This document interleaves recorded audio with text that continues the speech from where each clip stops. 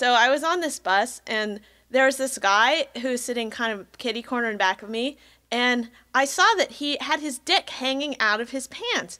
And like there was this girl sitting next to him, but she was asleep, and I didn't know what to do. So I I kind of slyly caught his eye, and then I stood up and yelled really loud, "Excuse me, sir, could you please put your dick back in your pants?"